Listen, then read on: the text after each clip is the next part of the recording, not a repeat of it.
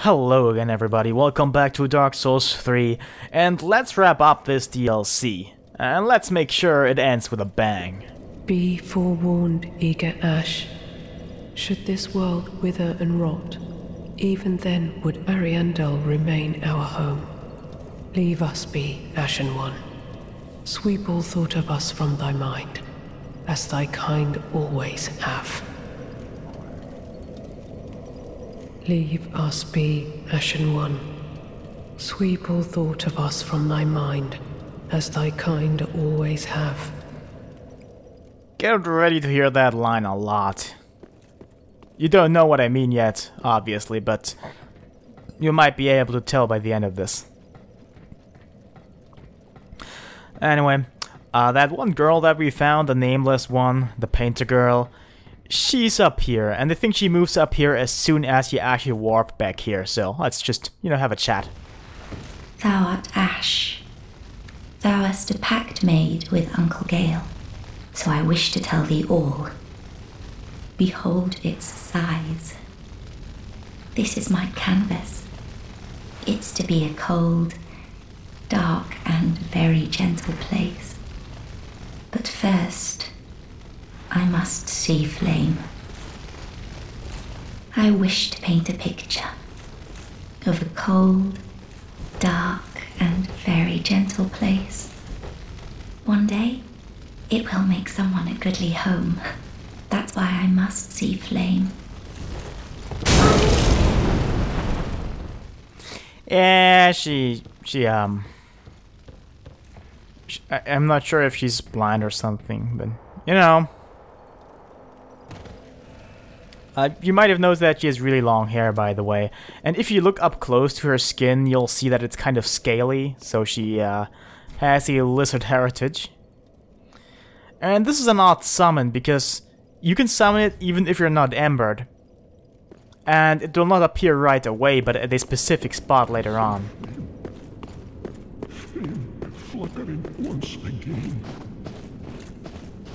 Not enough. My flail. Bring me my flail. Ah, Friede. What stops thine ears? Please my flail right away.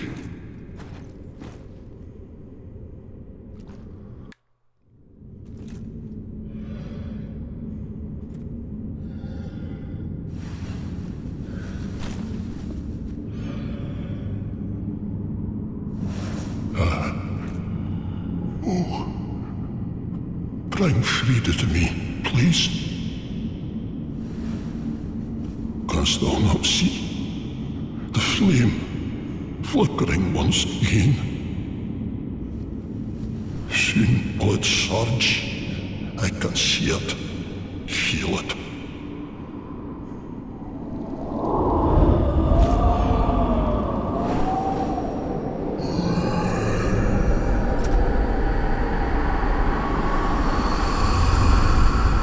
Fret not, Father. We have no need of thy flail. Tis only the flame quivering at misguided ash. Please avert thine eyes.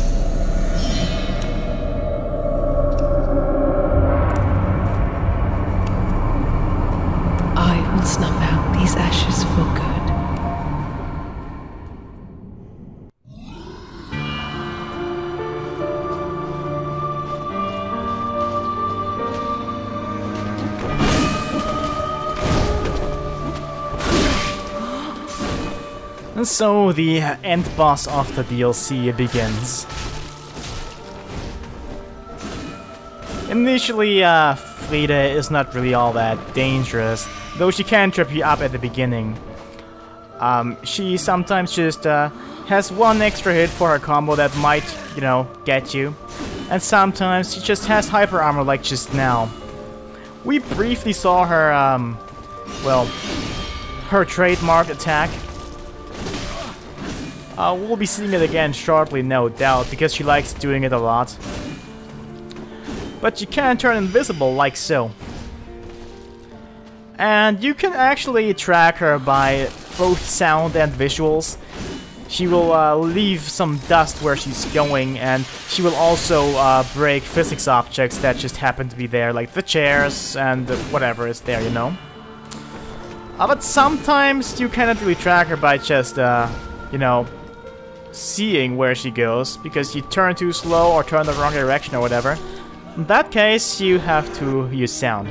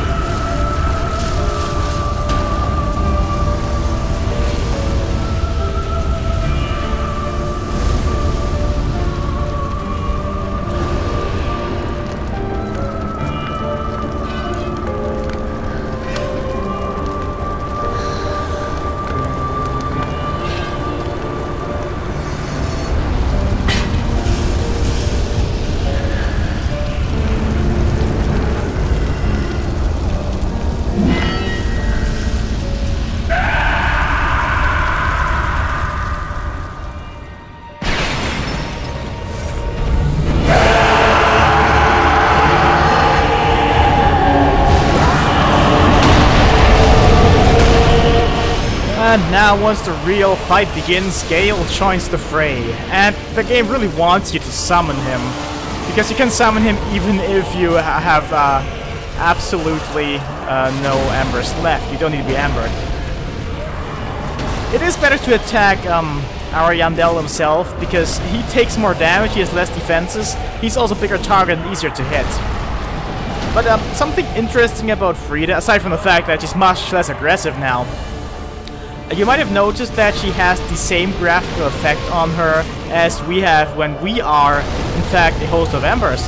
That's because she is now a host of embers. She started out as an enkindled one, much like we did, but over the course of the fight she uh, got resurrected as an uh, host of embers. What we could take from this is perhaps that we are invading her world, which we technically are. So yeah, but hey, thanks to a uh, crafty summon, we already took care of Ariandel and Friede.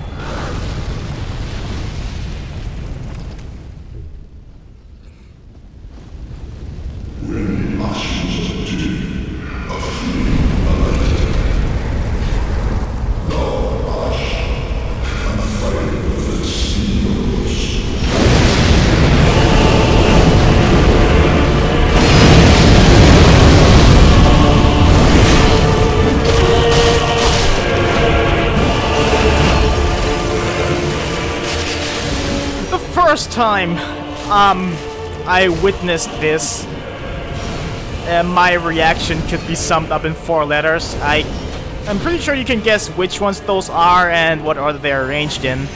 It's not very creative.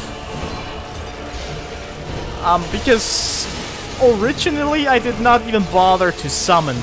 Because I never summoned for boss fights, but game really wants you to summon here. Now, don't worry, you're not being cheated out of me being a hard ass and killing this boss without summons. It's far from impossible. Uh, but it is very difficult. But if you want to see me at least attempt beating Friede without summons, then you need to watch the New Game Plus versions uh, of this, you know, boss fight. She is much more aggressive in her final phase here. Um, as you can plainly see, of course, her combos get longer, she gets new attack, there's lots of variation in the stuff that she can do. Uh, she has uh, many of the same attacks she had previously, but also, you know, a lot of new ones like that one. If you can get the distance just right, this is actually a really, really, really easy way to get a couple hits in. Just uh, dodge the uh, initial blast as well as the uh, homing dark projectile thing that flies your way along the ground. And then just dodge right into it. And you can attack her a couple times. But you really need to be more careful here. Um, most of the time, you can get by uh, in boss fights getting in two or three hits. Here, a lot of the time, you will have to settle for maybe one. If you can actually uh, time your, your dodge rolls or check your approach to the enemy just right, you might be able to get in more. Whenever she turns invisible, of course, she always finishes with uh, charging up a, a black flame attack that goes along the ground. Uh, if you can find her while she's charging that up, that's also a great idea to get hits in then. But you might not necessarily be able to actually find her, and if you do, she might be too far away as well. So in that case, it could be better just dodge. This is certainly one hell of a, of a boss fight, one hell of a way to finish off this DLC. Because not just is a hard fight, it is probably the hardest fight in any Dark Souls game. So far at least, there's still another DLC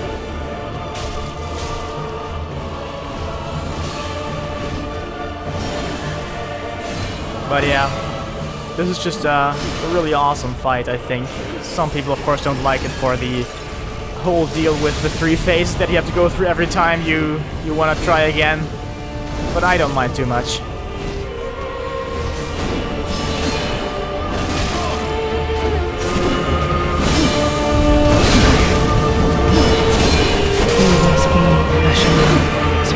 Thought of us as their kind always have. Remember when I said you'll hear that line a lot? Yeah, that's why. Uh, she has a couple of lines she can say, but this is the most common ones. And she will say them in all phases, so if you die in any phase, you'll probably hear that. And if you manage to die to the third phase once, uh, chances are you're being a bit tilted, and you'll also die on the first or second phases, even though they are considerably easier. Because this actually happened to me. Um, there's a bit of a death reel you can see in my New Game Plus video uh, for this fight, which uh, could give you an idea of just how many attempts it can take. Oddly enough, my first time around didn't take me as many attempts uh, as, you know, the uh, recorded attempt. Without uh, a summon, that is, because here obviously I'm using a summon, which makes things easier, and if you can keep Gale alive uh, for most of this fight, uh, even the third phase is very manageable, because having Friede's attention divided uh, amongst two people just really makes it much easier to get a, a couple of hits in. If she's on Gale, you can just go up behind her for uh, maybe even a backstab, like so. And if you're currently distracting her, Gale can just get in a hit or two really easy, and then she's on him again. And so it goes back and forth. But most of the time Gale dies really quick, uh, because I think he cannot really die in phase number 2. But he dies really easy in phase number 3. He can still heal, but he has limited Estus. However, um, sooner or later, I think he always dies.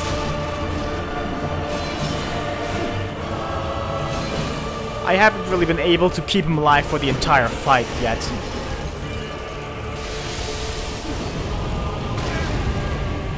But again, I, I kept him alive for almost the entire fight. You can see she's almost really far down, so this should be relatively easy. You'd think, but With this fight especially, it is very, very possible that you make a single mistake that just kills you. A single hit will not kill you, but you can die easy, believe me. I have died many times to this boss. And I think so will you.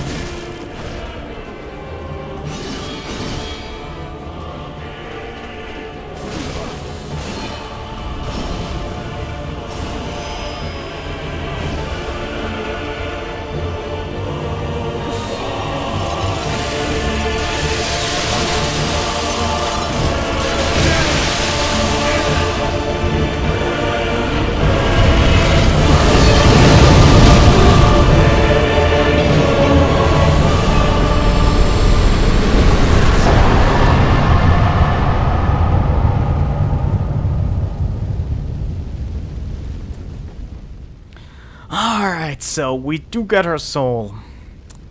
And Friede is actually a sister of the Sable Church. So, um, much like Yuria actually is a sister of the Sable Church. So if we bring her soul to Yuria, we'll uh, get a special quote. In fact, there's a special quote if you are the Lord of Hollows. Which we aren't, so we didn't get to hear it. But I, I'll post it in the thread. Anyway, this is a kind of a statue or puppet, presumably of Priscilla, because there is like this whole snake tail thing going on.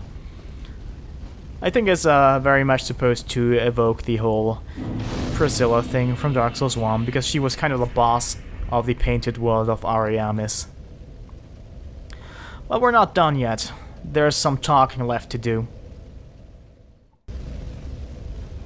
First up, uh, let's head back to where the painting girl was. Because now that, you know, there's plainly flame visible and audible, uh, she, she might be, uh, she might actually react to it. I mean, just whacking her in the face isn't enough, but this might be.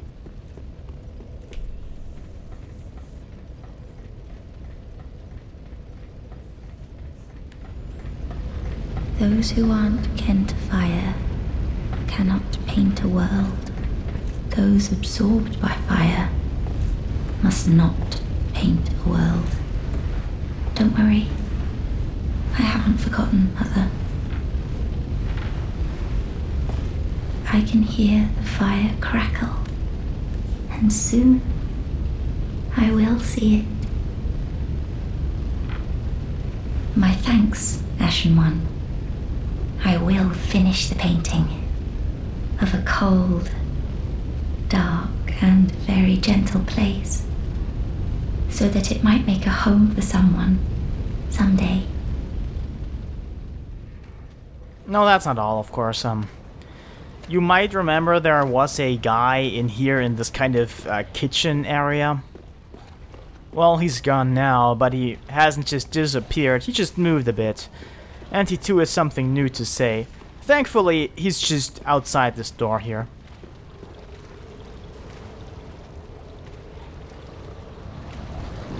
Oh, my, thank you. I can hear the crackling from here. The sound of my home. The painting of Ariandel. Burning away.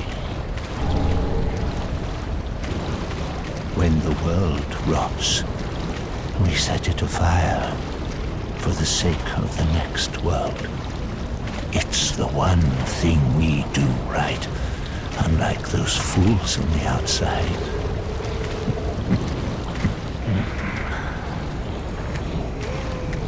when the world rots, it's the one.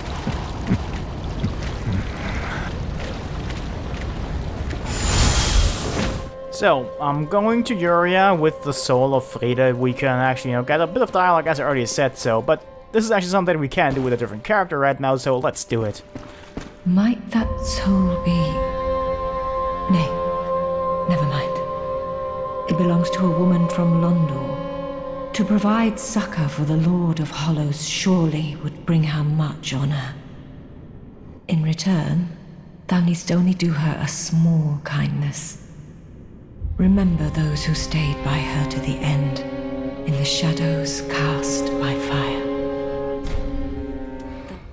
And finally, the painting girl has one last thing to say.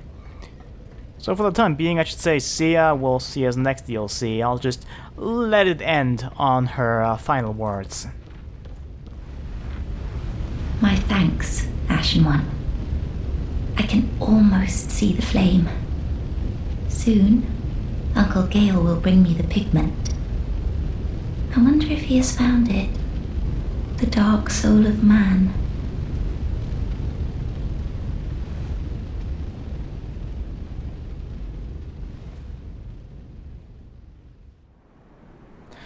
Okay, let's have a look at the stuff we can get from bosses. This one's not made from boss soul, it's Valorheart, we just get it for defeating the champion's Gravetender. Here's the description. Weapon once wielded by the champion of the undead match. A special paired set consisting of a broadsword and a lion shield. The champion fought on without rest, until he lost his mind. In the end, only his page and a lone wolf stayed at his side. The skill's called Lion Stance, and it's a stance, as we're about to see. The unique thing about it is that it's a, well, it's a sword and shield. You might notice that I have a different shield equipped now. Uh, once uh, we go into two-handed mode, you will actually whip out the shield that goes along with it. Which will give us uh, access to a new moveset, as well as the weapon art. Which you know is a, a neat little stance. Gives us some some skills like this shield bash with a wolf and stuff. It looks more imposing than anything though. Still having a an alternate, completely unique straight sword moveset once, you know, quote unquote two-handing it, is really cool. No other sword in the game has this moveset. Let's just uh, head on out as usual. It bears mentioning that this is, unlike all the other times, uh, not New Game Plus, it's regular New Game. But the weapon is unupgraded, which makes it about a, about a right fit, maybe slightly overpowered for this part here. Because it's a boss weapon, and boss weapons are just stronger. Their limit, after all, is plus 5, not plus 10. So their base power is a, a bit higher than other weapons. This is a weapon I can see having some fun with. But for the time being, I actually think I have about enough uh, of straight swords. I kind of want to use uh, other stuff. Unless, of course, there's a really, really cool straight sword next DLC, who knows. But yeah, let's actually head on to the stuff that we can make from Friede's soul.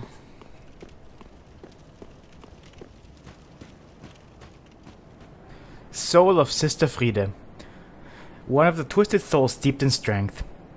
Friede was the first Ash to enter the painting, but together with a good father, they chose rot over fire. And this is Friede's great scythe.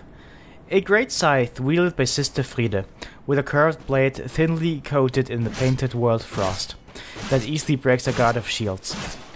In the painting, the scythe is a symbol of a long-lost home, possibly explaining Elfriede's preference for it. The skill is called uh, Elfriede's Stance, and it is, well, a stance, of course. And it is a scythe.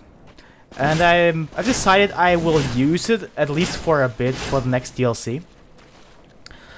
Uh, so this one is fully upgraded. Normally it has just pretty much, you know, the, the scythe moveset. We've seen it before, but... And uh, there's the stance. Which gives us a completely new light attack combo. As well as a heavy attack, uh, kind of magic attack. Which we've seen in the fight, though, and the fight was much more impressive. I'm not sure how useful it'll be. I guess you can slightly zone out somebody with it in, in PvP, but I, you know, haven't used in PvP. Plus, I'm not that big of a PvP guy, as we've established. Anyway, let's check it out. Because I'm really curious how the, the combo will will work out on actual enemies, not these guys, because those just, you know, they will basically die in one hit no matter what, because well, this is a fully upgraded weapon, and it's New Game Plus. Uh, not New Game Plus, sorry, it's a uh, New Game.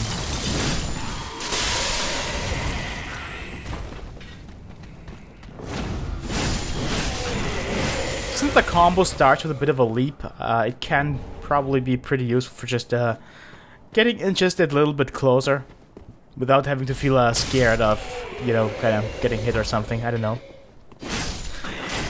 Because a lot of the time I find myself hesitating going in, and this just might help me doing that. Anyway, moving on. And here we have the Rose of Ariandel. It's a whip. Here's the description. A flail used by the bulbous father of the painted world to shred his own skin, producing blood to appease the flame. Both a weapon and a miracle catalyst. Ariandel, being the restorer of the painted world, knew that this was the painted with blood, and only blood could protect the secret. Skill's called Awakening, and uh, it's a bit of a buff. It increases the power of Miracle.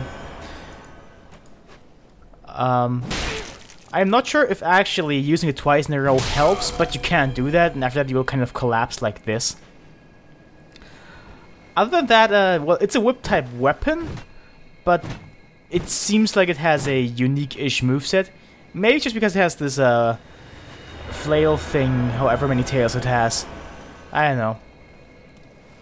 It does definitely seem like it's a different moveset though. It doesn't have a heavy attack though. Uh, instead of a heavy attack, it will cast uh, whatever miracle you have equipped. Since it's just some buffs here, not having a, a upgraded catalyst isn't really too bad. But still, I'm kind of questioning the use for, at least for this build here. And I have no idea why I'm just whipping myself here. I figured I want to try how many times you could do it in a row without collapsing, but it's just twice. And, uh... Well, I didn't properly try it here because it was a bit far away, but to my knowledge, whip-type weapons don't have a backstab animation. Because having kind of a backstab wouldn't really make a lot of sense, but... I feel just for the sake of consistency, it should have at least something. Then again, I just didn't properly try, so maybe it has some kind of backstab animation.